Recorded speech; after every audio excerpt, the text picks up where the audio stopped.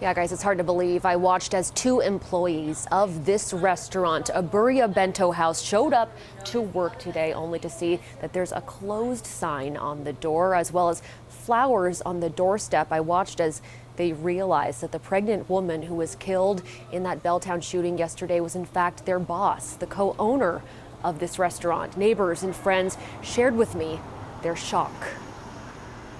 Ah, oh, man. And when I saw this, I didn't know what to think.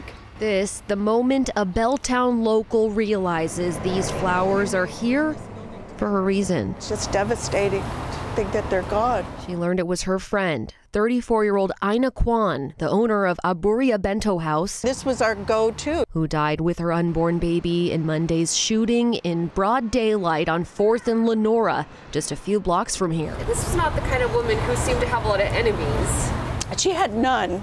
I can't think of one person. So the question is why?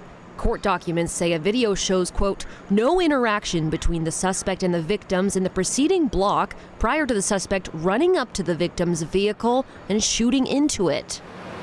Police were able to make an arrest because, according to court documents, when officers approached him, he raised his hands up in a surrender position and repeated, I did it, I did it.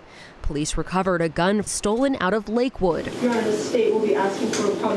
30 year old man accused in the shooting waived his first court appearance. Neighbors say the grief is twofold. We're grieving the future loss of the baby that would have become part of our community and maybe made contributions. Eina treated friends like family. She was just an incredible human being and selfless, works every day. We used to tease her about the fact that, you know, she, it was time for her to take, I mean, how could she deliver plates with this little belly sticking out?